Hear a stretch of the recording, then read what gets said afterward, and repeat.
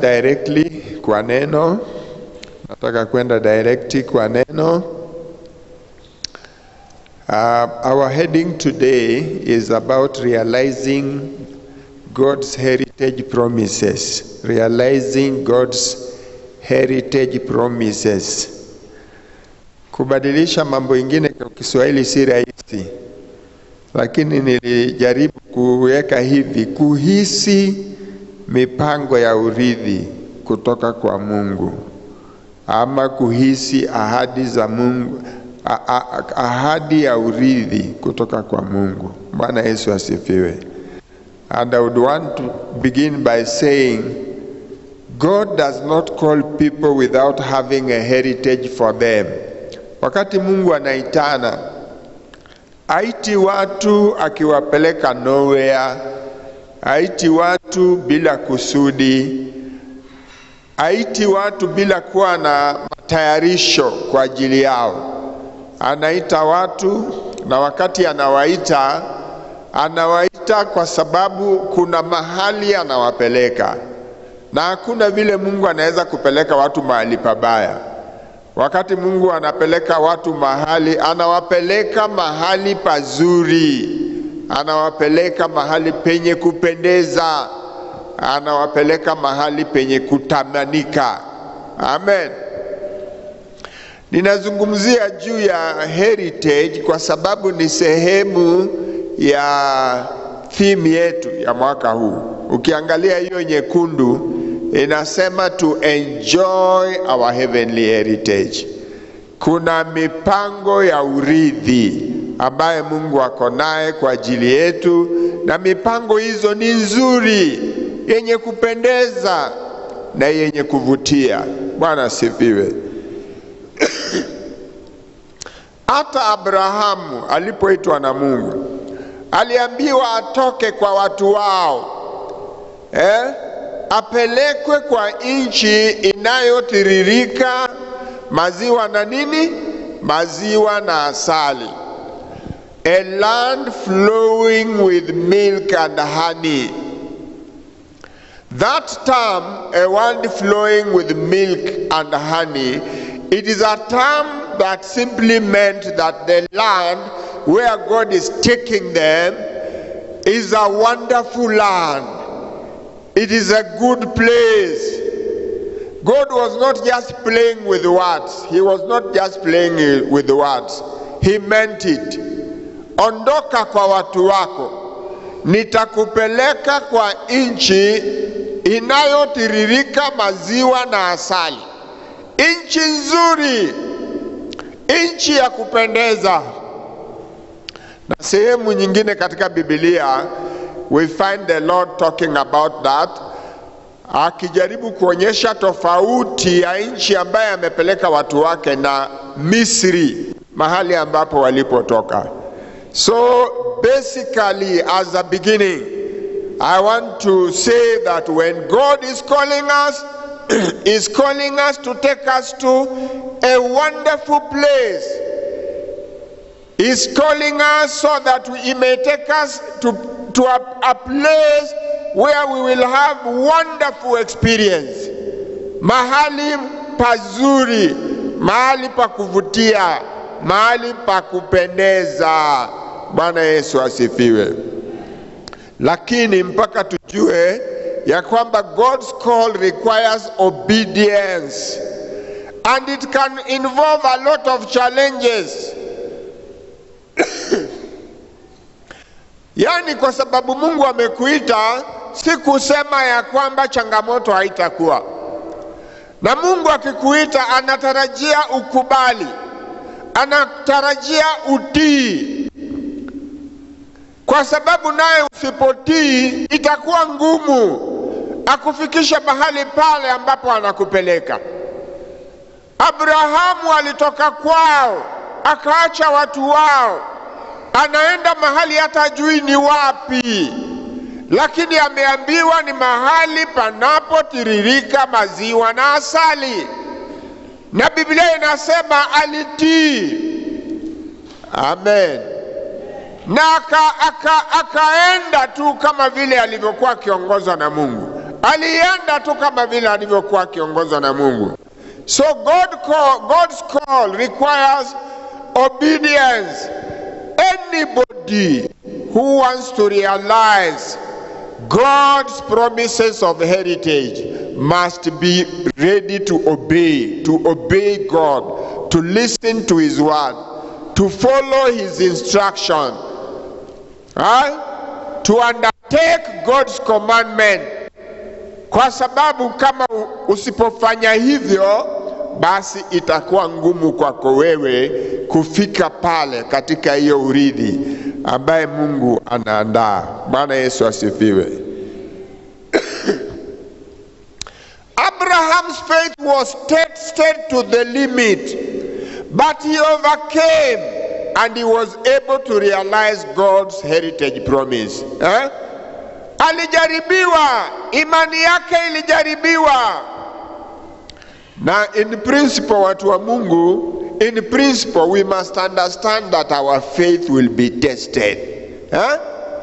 Imani hiyo uko naye kwa Yesu mpaka itajaribiwa na ijaribiwi kimchezo mchezo, hapana, inajaribiwa inatafwe. Some of it is so hard and so tough. Na tunapata mtu kama Abraham, upungufu wake ilikuwa ni anataka mtoto, anataka mtoto kijana, na amefikisha miaka karibu mia na mtoto haonekani. Na anatumikia Mungu aliyeumba mbingu na nchi, aliyeumba wanadamu, na kulikuwa tu na test, kulikuwa tu na test. Na wewe pia mpaka tukuambie, mpaka test itakuwapo. Amen. Ambia jirani, mpaka test itakuwako. When God calls you, you'll be tested utajaribiwa. Ile kujaribiwa aina ya mtihani, you will be tested. You cannot go through without testing. Hakuna kitu kama hiyo ati utapita bila kuwa tested, hakuna, mpaka utatestiwa. Apostle Peter anasema ili genuineness ya imani yako ijulikane ukweli ya imani yako, uhalisi wa imani yako ijulikane. Is your faith genuine? Imani yako ni halisi, ni ya kweli ama ni ya bandia? Kwa sababu mahali watu wako wengi, huwezi kosa watu ambaye wako na imani lakini imani bandia, kwa sababu wakijaribiwa kidogo tu hawawezi kustahimili, wanaachilia, wanaanza kunungunika, wanaanza kucomplain, wanaanza kupiga kelele, wanaanza hata kusema vile watarudi Misri, vile watarudi nyuma eh? God calls and it requires obedience and there will always be testing. Praise the Lord. There will always be testing. Bwana Yesu asifiwe. The Bible has numerous heritage promises for God's redeemed people. Watu ambaye Mungu amewakomboa, utapata ya kwamba kuna ahadi baada ya ahadi baada ya ahadi baada ya ahadi kuhusu urithi huo ambaye Mungu anatupangia. You read the Bible and you will always meet those promises and there are many hata mahubiri ya siku kama leo haiwezi kukava promises hizo, kwa sababu you see them through the Bible. As you go through the Bible you see them, and that's why I'm using the word numerous, numerous. Leo tunatazama tu some of them, but they are numerous. Praise the Lord. God's heritage promises for us are unmatched by anything in this world. Urithi ambaye Mungu ametupangia haiwezi kulinganishwa na chochote ambayo ina tumeona ama tumefahamu ama tumehisi katika ulimwengu. I'm telling you where God is taking you, where God is taking you after calling you He's taking you to a place that cannot be matched by anything in this world. Praise the Lord.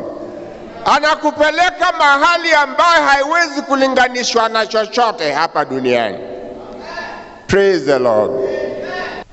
Unasema pastor, hiyo ni kweli? Ni kweli. Praise the Lord.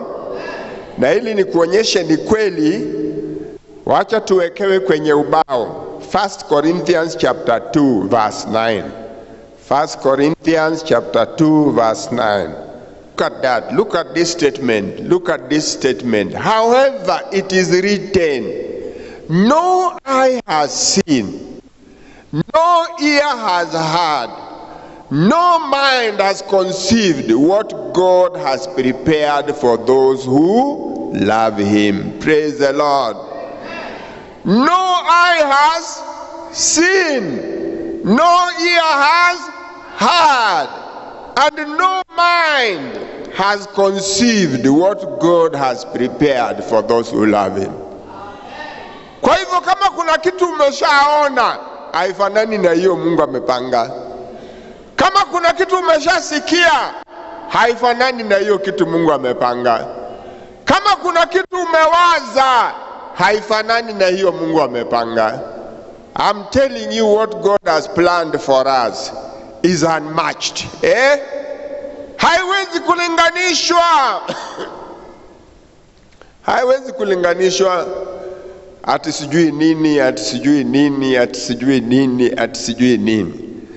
Unajua kuna mataifa unaweza kwenda uone vitu mpaka ushangae, uone mijengo, uone barabara za ajabu, uone landscape vile imetengenezwa, uone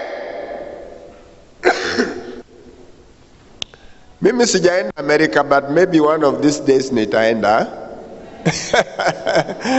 Ama, whichever other place the Lord, as, as we say in the Bible, nothing is impossible with God. Amen. Bwana asifiwe. But I know some of you have gone there.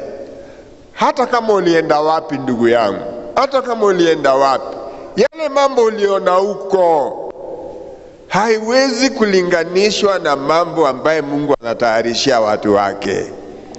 Amen. This is a very powerful statement. No eye has seen, no ear has heard, and no mind has conceived the things that God has prepared for his people. Amen. Amen. Let's also look at Romans chapter 8, verse 18. Romans chapter 8, verse 18. This is Paul, this is Apostle Paul writing. And he's saying, I consider that our present suffering are not worth comparing with the glory that will be revealed in us. Bwana sifiwe. I consider that the present sufferings, dunia imejaa changamoto, dunia imejaa mambo ya kusumbua, masumbufu, na si wewe peke yako unapitia. Maana Biblia inasema no temptation has come to you that is not common to man. So ayo unapitia, wengine wanapitia na wengine hata wanapitia ma, mazito zaidi lakini hata hizo yanayosemekana ni mazito, they cannot be compared with the glory that will be revealed. Amen. Haiwezi kulinganishwa.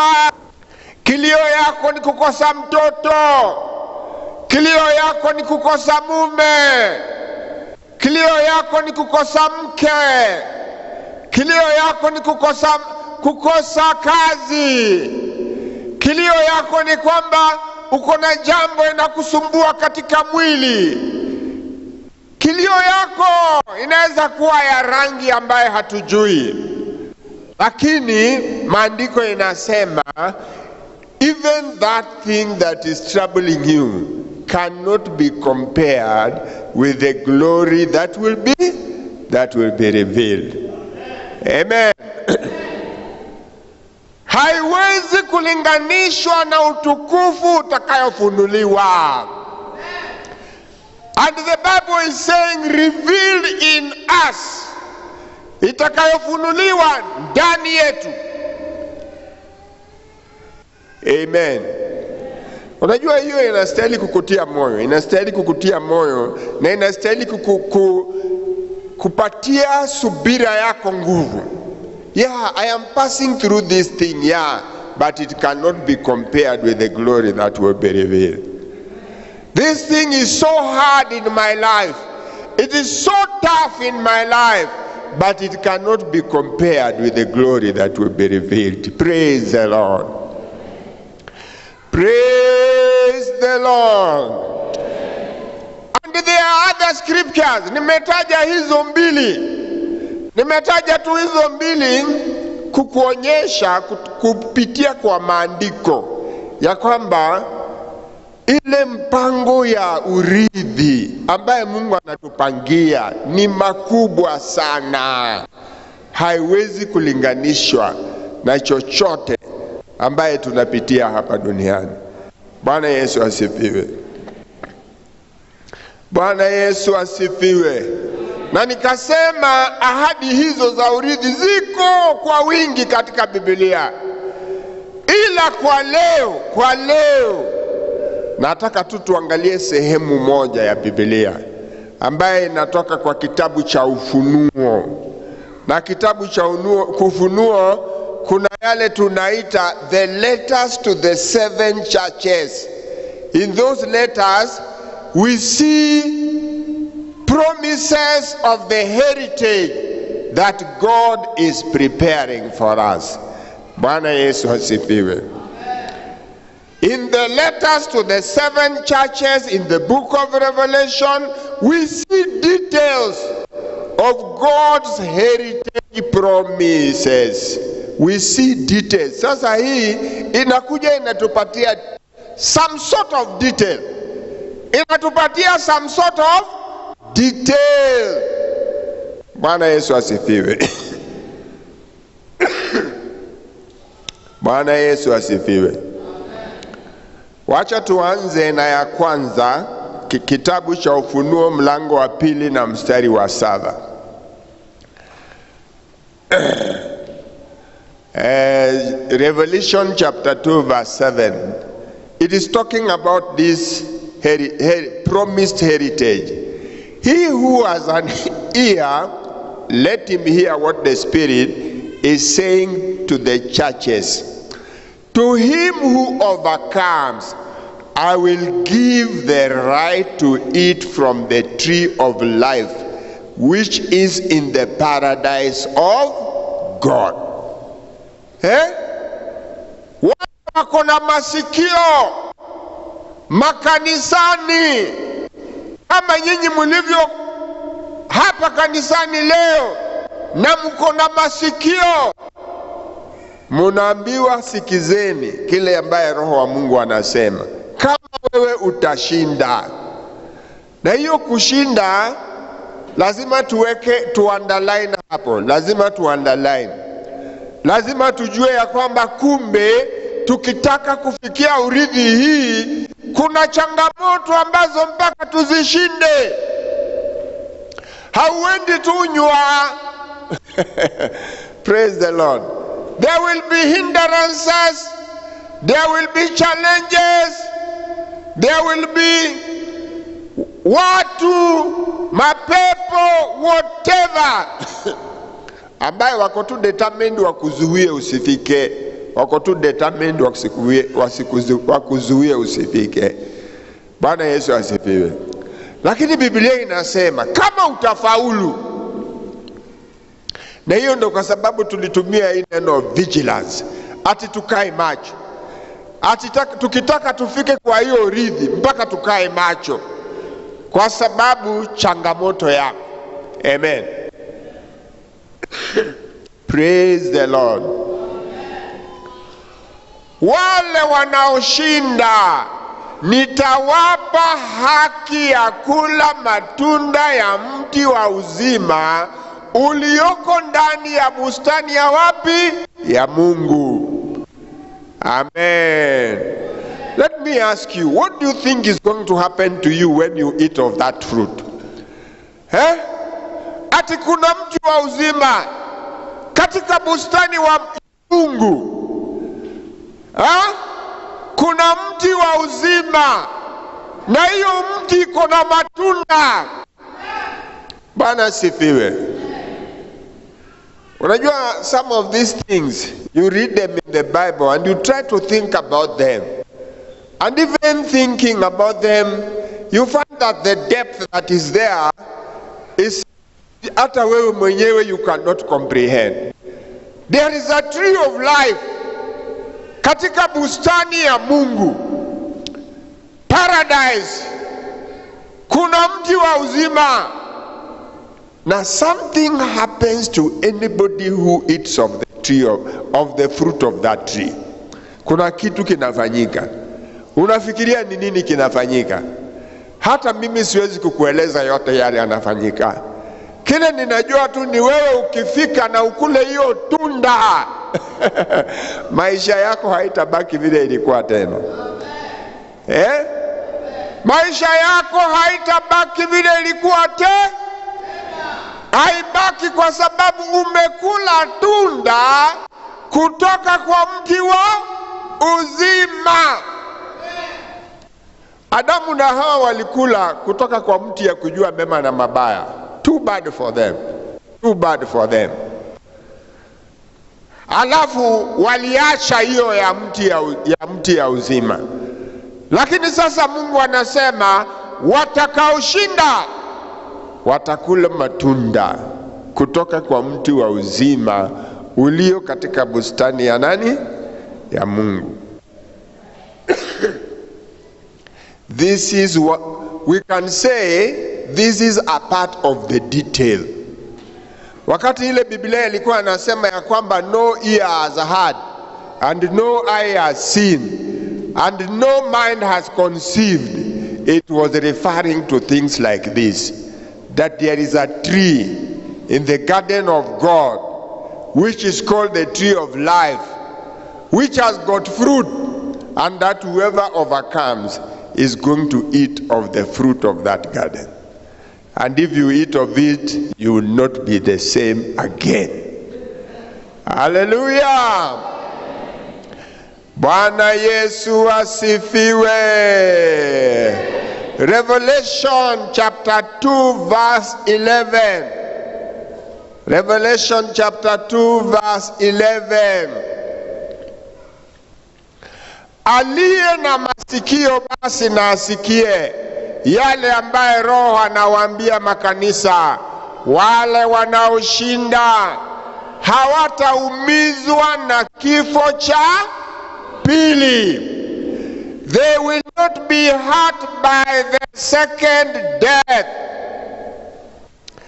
Unajua sasa Bible imeleta what, what we may call is it a, uh, is, is, is a word that you are really wondering. It is on, introducing something that you normally don't think about. Because wewe kila mara unafikiria juu ya kifo ya kawaida na unafikiria juu ya kifo ya kwanza. Sasa hapa Biblia inasema kumbe kuna kifo ya pili, kumbe kuna kifo ya pili. When the Bible says God so loved the world that he sent his only begotten Son, that whoever believes in him should not perish but have eternal life. The word perish ni kuangamia, na hiyo kuangamia ukifikiria vizuri inatokana na kuangamia kupitia kifo cha pili, sio kifo ya kwanza. Maana hiyo kifo ya kwanza kila mtu anaweza kupitia, unaweza kupitia Si watu wote watapitia hiyo kifo ya kwanza, kwa sababu Biblia inasema wakati Yesu atarudi, wale wako hai watabadilika. Manake si lazima ati watakufa, watabadilika, kufumba na kufumbua jicho. So it is appointed for men to die, but the Bible tells us when Jesus comes, there will be people who are living, and there are people who are dead. na tunaambiwa hatutatangulia waliokufa, watafufuka kwanza, lakini sisi tulio hai tutabadilishwa kufumba na kufumbua jicho. Bwana Yesu asifiwe. Watakaoshinda hawataumizwa na kifo cha kifo cha pili. Ambia jirani kuna kifo cha pili. Eh, kuna wale wanateseka dunia hii mpaka wanajiondoa maisha yao, na wanajiambia wakiondoa maisha yao wameenda kupumzika, wameachana na ulimwengu na shida yake. So they say they have gone to rest, but tell those people that death is not only one, there is a second one. Kuna kifo cha eh, lakini wale walioshinda, wale walioitwa na Bwana, wale waliokuwa watiifu, wale walikuwa wali, wali, walikuwa tayari kumfuata Mungu mpaka mwisho, tunaambiwa hawataumizwa na kifo cha pili, hawataumizwa na kifo cha pili. There is a second death, but those who overcome will not be hurt by the second death. And this is part of the so called heritage that God is calling us to enjoy.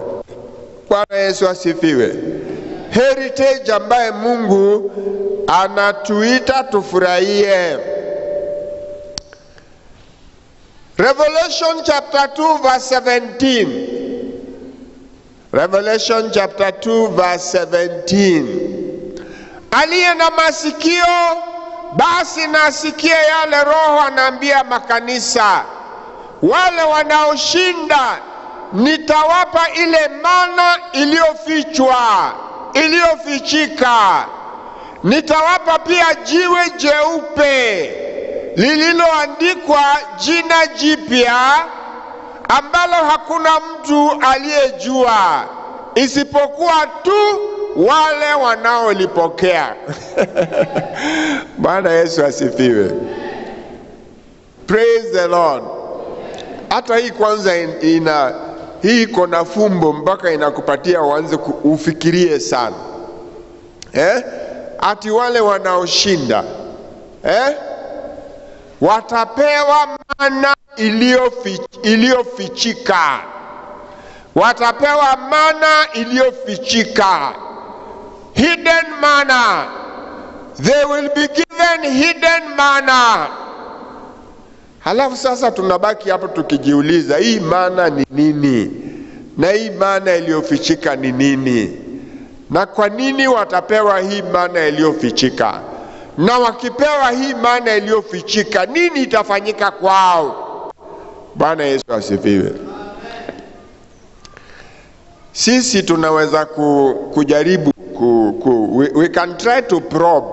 We can just try to probe but we may not know the full depth. Kwa sababu mana ni chakula ambaye ilikuwa inatoka kwa mungu mwenyewe. It is god who gave mana na watu walikuwa wanaamka tu na kuchota. Na ilikuwa jangwani. Ilikuwa chakula ya kusustain watu wa Mungu. Waendelee katika safari. We can use the word it was divine provided food and it was provided to sustain those people. So kuna kuna chakula ya aina fulani ambayo ukishinda utapewa na hiyo chakula unajua hata tukisema mtu anaishi milele na milele na milele na milele na milele ni kitu gani na sustain huyo mtu aishi milele na milele na milele na milele? Possibly kukula hiyo tunda ya kutoka kwa mti ya uzima. Also kukula hiyo mana iliyofichika. Kwa sababu hiyo mana ndio ilisustain watu kule jangwani. So, when you overcome, you will be given that hidden manna. Amen. Alafu utapewa jiwe jeupe ililoandikwa jina jipya ambaye hakuna mtu mwingine anayejua isipokuwa tu wewe ambaye umelipokea. Bwana Yesu asifiwe. Unajua sisi wote tuna majina na tuko na majina na tuko na matitles. Watu wanakujua kama fulani eh, na uko na title eh? Kuna bishop, sijui kuna archbishop, sijui kuna nini, lakini mpaka tujue ya kwamba kuna majina mengine tunaweza kuwa naye ambaye kulingana na Mungu tumepewa, lakini yeye hayuko huko eh? Unajua Mungu ako na vile Mungu ako na vile ako na jina kwa kila mtu. Bwana Yesu asifiwe. Mungu ako, ako, ako vile ako na jina kwa kila mtu. Eh, kwa sababu majina zingine zile tuko nazo hata Mungu hata, hata wewe ukifika kule ukisema unataka utumie hiyo utaambiwa eh, gotingehoteka haiwezekani. You cannot use that name here. Huwezi kutumia hiyo jina ati wewe unaitwa Madhena na unataka unataka uende mpaka mbinguni na hiyo jina yako ya Madhena, na unataka Mungu akubali hiyo jina huko Madhena, hata kubali. So he has a name for everyone. Unajua Yesu alipoita wanafunzi wake, kuna wale aliwapa majina, kama Petro akaitwa hiyo jina Cephas, ambaye inamaanisha mwamba. Why did Jesus call him that name? Tunaona Sauli baada yake aliitwa Paul. Why was his name changed? Abraham hakuwa Abraham mbeleni, ilikuwa tu a very short name Abraham. Abraham akukuwa na hiyo Ham but God changed their name.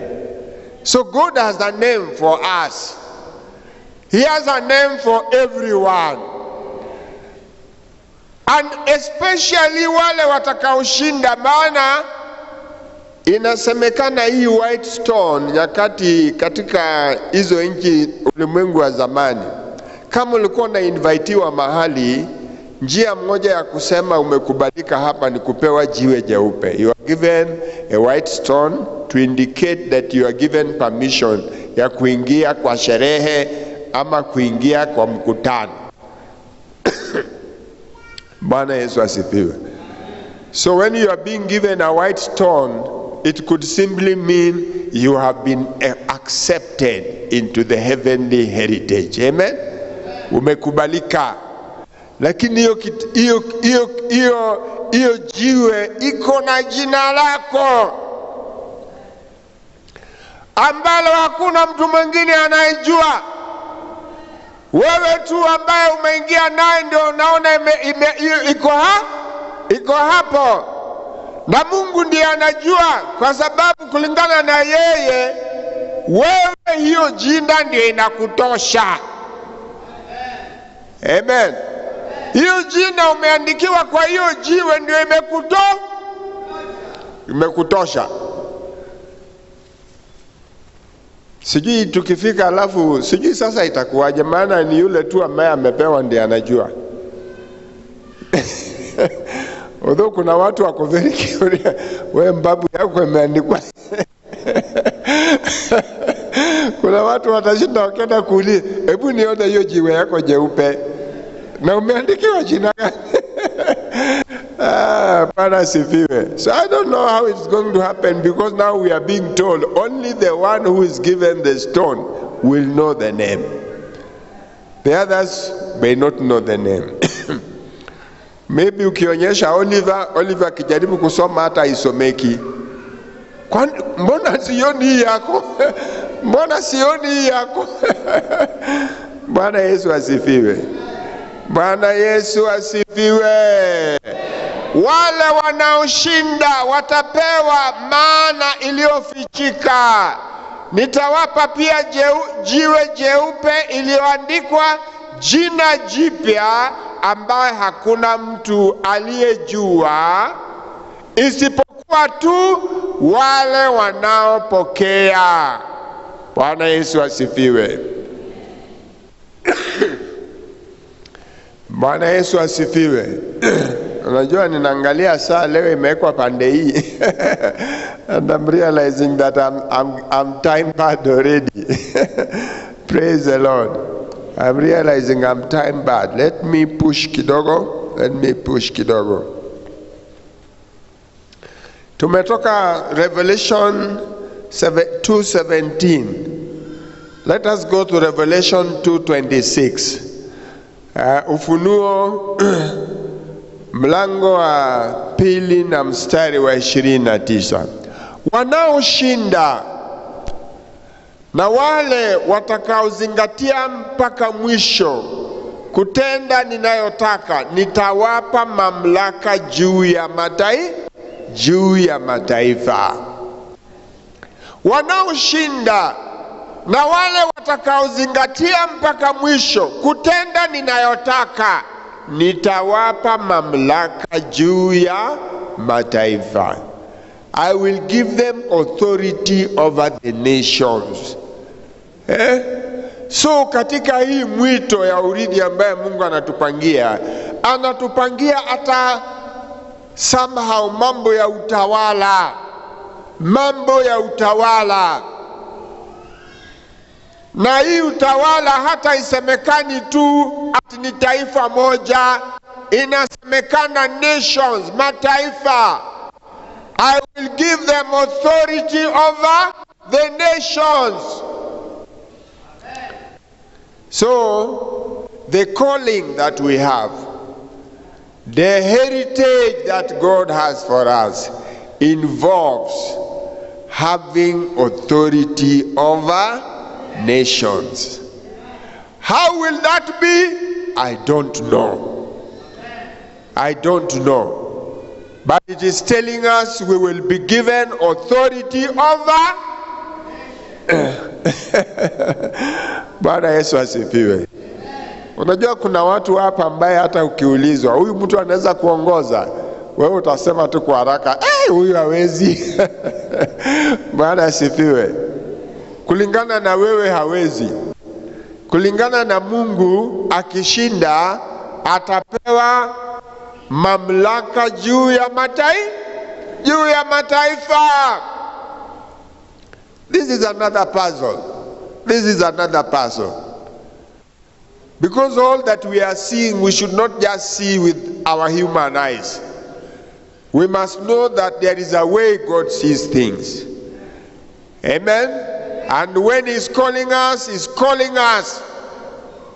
And part of what He's calling us is that we can have authority over the nations.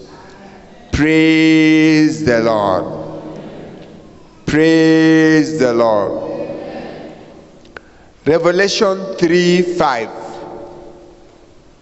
Revelation 3 5. Wale wanaoshinda watavikwa mavazi meupe kama hao, nami sitayafuta majina yao kutoka katika kitabu cha uzima, tena nitawakiri kwamba ni wangu mbele ya Baba yangu na mbele ya malaika wake. Bwana Yesu asifiwe. Watavikwa mavazi meupe, watavikwa mavazi meupe. Amen.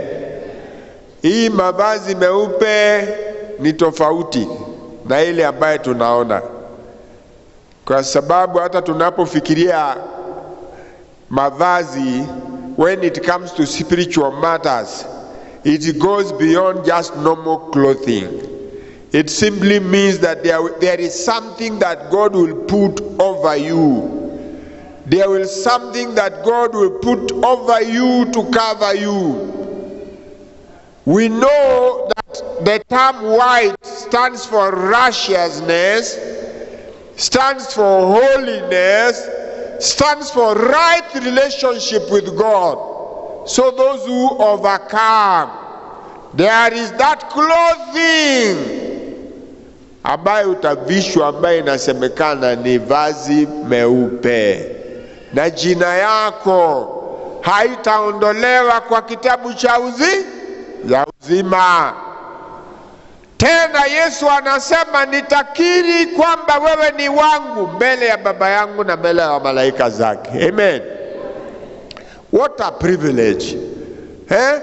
Fursa nzuri, fursa ambayo Yesu anas, yes, yani Yesu anaenda anasema mbele ya Baba, Baba huyu ni wangu. Amen. Baba huyu ni wa eh, kwa sababu kuna wengine alisema ondokeni, mimi siwajui, ondokeni, I've never known you. Tulifukuza pepo kwa jina lako, ondokeni, mimi sikuwajua. Tulifanya haya na haya, ondokeni, mimi siwajui. Lakini kuna wale ataenda aseme, Baba huyu ni wa E, na atasema hiyo mbele ya Baba na mbele ya malaika. What a privilege. What a wonderful privilege that you can be acknowledged before the Father and before the angels. Praise the Lord. Praise the Lord. Revelation 3:12. Revelation 3:12. Revelation 3:12 Wale wanaoshinda nitawafanya wawe minara katika hekalu ya Mungu wangu, hawatatoka humo kamwe. Pia nitaandika juu yao jina la Mungu wangu na jina la mji wa Mungu wangu, yaani Yerusalemu mpya, mji ambaye utashuka kutoka juu mbinguni kwa Mungu, kwa Mungu wangu. Tena nitaandika juu yao jina langu jipya. Amen. I will write the name of my God and the name of the city of my God and my new name. And I'm going to make them pillars in the temple of my God and they shall not move from there. Bwana Yesu asifiwe. Utakuwa nguzo katika hekalu ya Mungu, makao ya Mungu. You will be a pillar. Utakuwa mtu wa kutambulika katika makao ya Mungu, utajulikana katika makao ya Mungu na jina la Mungu litakuwa limeandikwa juu yako kukutambulisha na Mungu mwenyewe, na jina la mji ya Mungu litaandikwa juu yako kukutambulisha na hiyo makao ya Mungu. Alafu Yesu anasema nitaandika juu yake jina langu jipya. Sasa hiyo jina ya Yesu jipya, ukiniuliza ni gani, I cannot tell you ni mambo ambaye iko na depth yake ambazo mingine tutaelewa tu wakati huo ambaye tutakuwa wakati huo ambaye tutakuwa tumefika mahali hapo. Praise the Lord. to be made a pillar in the temple of God and the name of God and the name of Christ written in, written in him. Alafu ya mwisho eh, Ufunuo tatu ishirini na moja Revelation chapter 3 verse 21.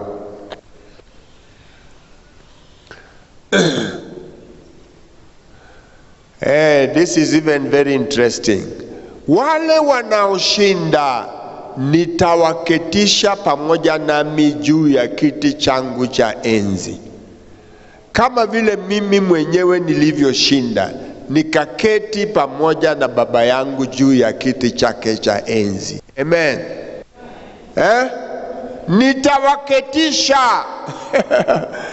Imagine Yesu amekaa kwa kiti cha enzi, na hiyo ni utawala universal. Alafu wewe kwa sababu umeshinda, anakuketisha pamoja na yeye katika hiyo kiti chake cha enzi. Alafu tunajiuliza kwani hii kiti ni kubwaje? Kwa sababu kama Muturi atakaa hapo apewe nafasi na mimi nipewe nafasi na wewe upewe nafasi na wale wengine wapewe nafasi.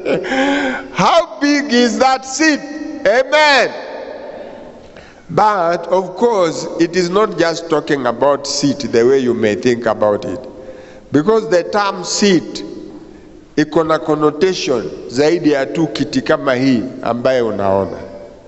Kile anasema tu ni kwamba tutashiriki na yeye katika utawa, tutashiriki na yeye katika utawala, tutashiriki na yeye katika utawala. E, atatuketisha katika kiti chake cha enzi kama vile yeye alishinda na akaketishwa na baba yake kwa kiti chake cha Yesu atakushirikisha katika utawala.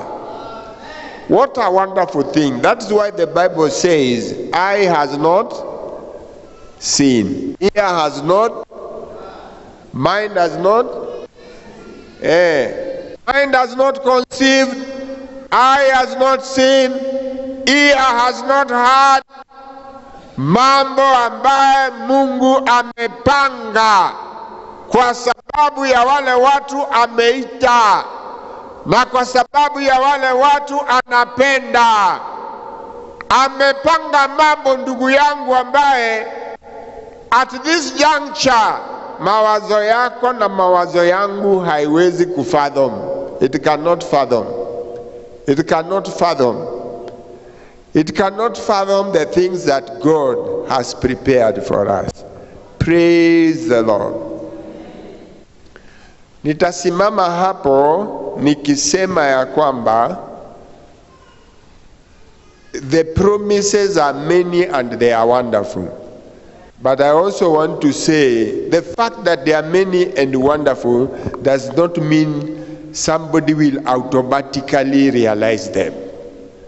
There are hindrances na katika tu hizo barua, katika tu hizo barua, katika hizo barua tu kwa makanisa kuna some of the hindrances that are, are, are mentioned ambaye hatuwezi kuingilia sasa kwa sababu ya, ma, ya masaa, lakini moja yao ilikuwa ni kwamba you have lost your first what? You have lost your first love. Umepoteza upendo wako wa kwanza. Na last time tuliona Yesu akisema because of wickedness the love of many will grow cold. Dunia inaendelea kuchacha, mambo yanazidi kuchacha, mambo inakuwa more confusing. Kunafika mahali huwezi kujua white from black, kujua katikati ya nyeupe na nyeusi inaendelea kuwa ngumu. Eh? Mahali unatarajia ya kwamba kuna mema na kuna haki, kuna dhuluma, kuna mateso, mahali ambapo mateso hastahili kuwa. Hiyo ndo kwa sababu Biblia inasema the love of many will do what? Will grow cold. Kuna mtu tu ataona vile hali iko, alafu atajiulize sasa, nimeokoka kwa nini? Ninaenda kanisani kwa nini? Ninamtumikia Mungu kwa nini? Ile love, ile love ya kwanza alikuwa naye ita, ita grow what? It will grow cold. So there are hindrances. There are hindrances. They are just things that are there to hinder you. Praise the Lord. Wengine waliambiwa you are neither hot nor eh.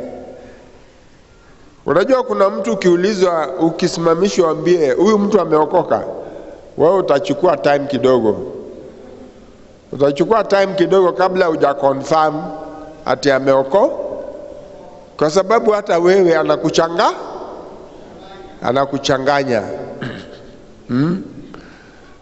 Kuna, kuna mtu unaweza kumwambia, unaweza kuambia mwachie huyo hiyo pesa, lakini wewe uta, utakuwa un- uncomfortable. You will be uncomfortable. Because you don't know hii pesa nikiachia huyu mtu itakuwa salama. Na ujue ni mtu wa church, hatuongei juu ya modo wako riaja, hatuongei modo wako riaja, tunaongea modo wa haha theine. Modo wa kanitha. Neither hot nor cold, si baridi. Na si moto, si baridi. Na si moto. Na hiyo uvuguvugu, ndugu yangu, inaweza kukuzuia, so that hizi vitu zote tunataja hapa.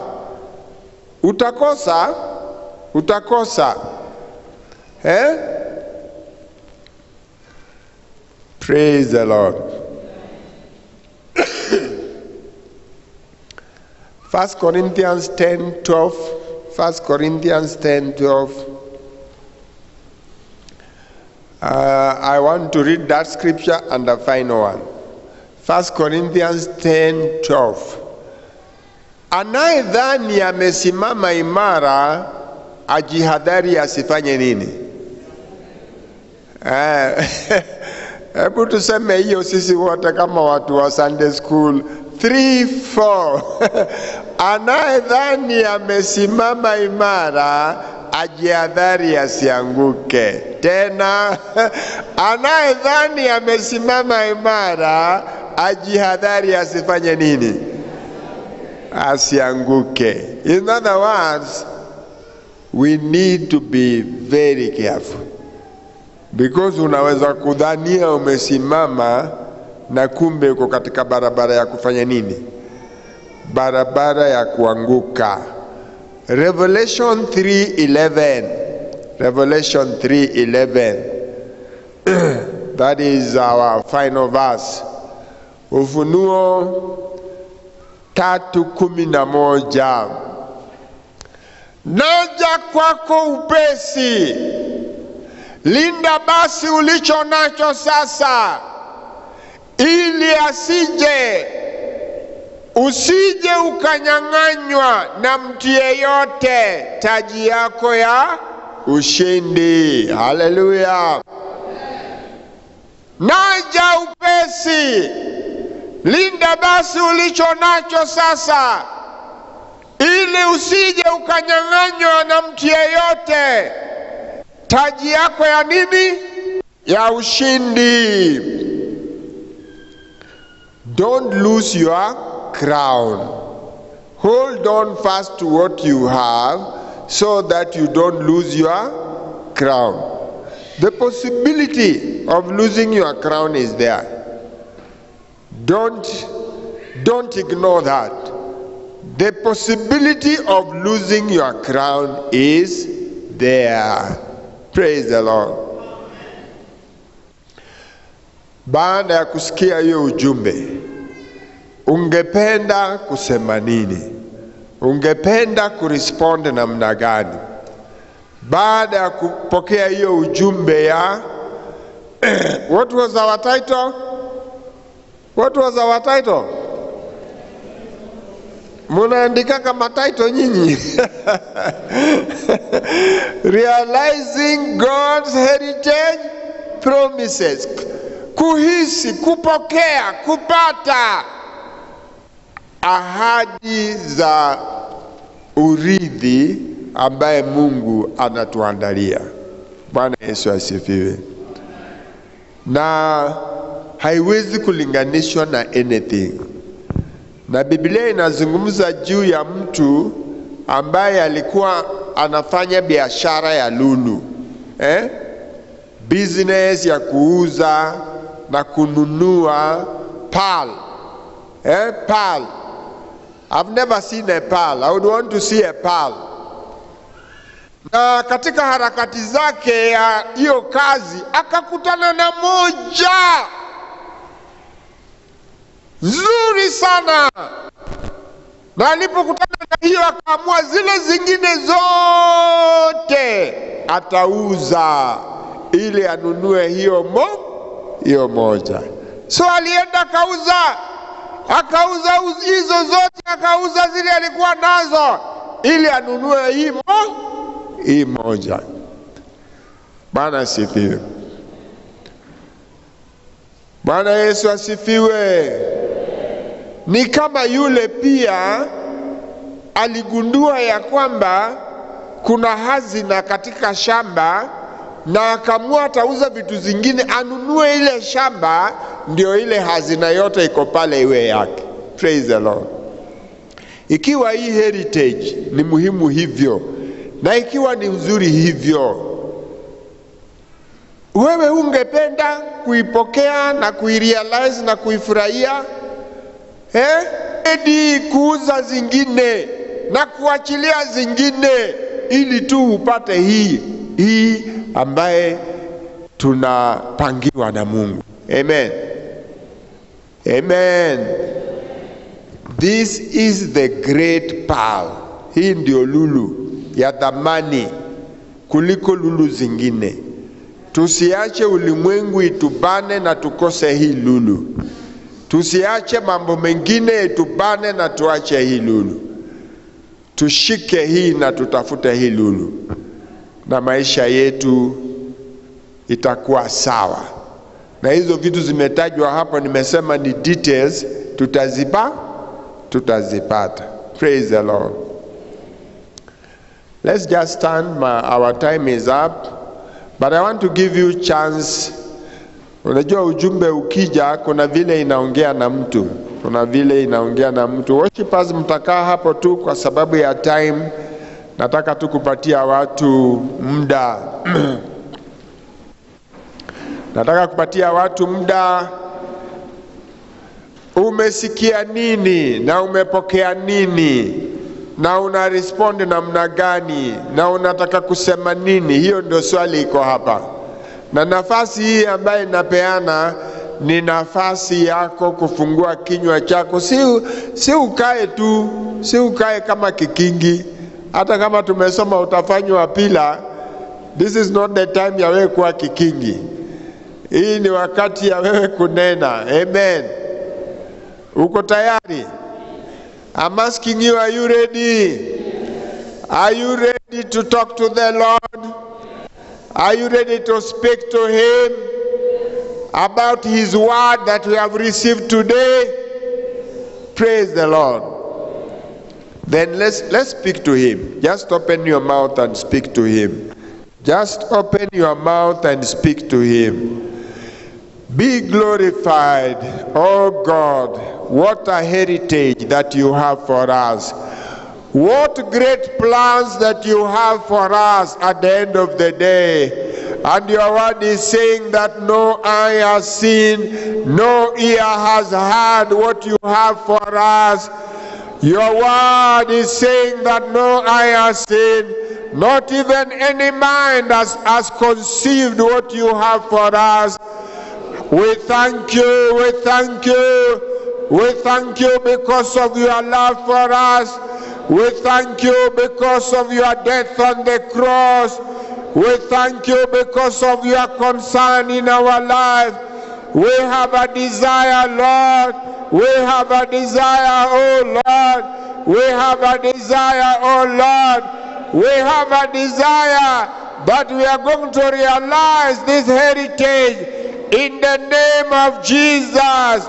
Tunataka kuhisi urithi hii ambayo umetupangia Bwana, kusiwe na chochote litakayotuzuia litakayotuzuia litakayotufanya tujikwae, kusiwe na lolote katika mioyo yetu. Wewe Mungu, tunaamua tunaamua tunaamua kuendelea, maana neno lako linasema atakayeshinda atakayeshinda atakayeendelea mpaka mwisho, atakayekutumikia bila kuwa baridi, atakayekutumikia bila upendo wake kupoa, ataweza kuhisi na ataweza kupata urithi ambao umetupangia. Asante Mungu wangu, asante Mungu wetu, asante kwa wema wako, asante kwa wema wako, asante kwa uzuri wako. Pokea ombi letu, pokea ombi letu, pokea ombi letu, pokea ombi ya kila mmoja aliyenyenyekea mbele yako, aliyekuja mbele yako. Ewe Mungu mkuu, pokea ombi letu na kututendea mema, ewe Bwana. Tunakupa sifa, tunakupa sifa, tunakupa sifa. May the Lord hear your prayer and may the Lord respond to your prayer and may the Lord do great things in your life and may the Lord empower you and may the Lord be with you as you journey in life until you realize the heritage that He has planned for you. We give glory to His name. We give glory to His name in the name of Jesus. Let's give Him a hand of applause. We give glory to His name.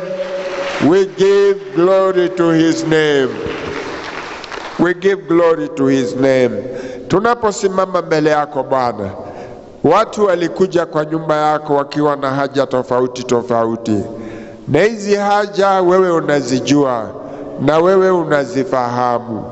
Kwa sababu ya kufika kwa nyumba yako, naomba Bwana kwamba utaona haja zao, utashughulikia haja zao, utawafungua kutokana na chochote kinachowazuia na kinachowafunga, na wewe Mungu utawapa ushindi, watafika mahali pa kufurahia urithi ambayo umetupangia. Katika jina la Yesu tunaomba na kuamini, amen. Kabla hatujaketi, wewe uko hapa, tunaongea juu ya realizing God's heritage for us, but you have not even given your life to Him. You've not given your life to Him. He has been talking to you, maybe year after year, get saved, give your life to Him. You've never done that. You can do that today. You can do that today. You can give over your life to Him today. You can be one of the people ambaye atapata na kuridhi yale ambaye tunazungumzia hapa. Kama uko hapa siku hii ya leo, Mungu ameweka katika moyo wako ili uokoke na umpokee Bwana Yesu. Unaweza kuinua mkono kama uko hapa siku ya leo. Usi, usi, usi, usiogope na pia usijidanganye, kwa sababu ukitoka na uende, na Biblia inasema usifanye moyo wako kuwa mgumu, then things will not be good for you. Do we have somebody like that here who is saying, Yes, I want to give my life to Jesus today? Do we have somebody like that here? It appears that we do not have, or if we have, they are not ready to humble themselves and to receive God's grace for today. Thank you, Lord. Thank you for the service. Thank you for what you are doing in us. In Jesus' name we pray. Amen.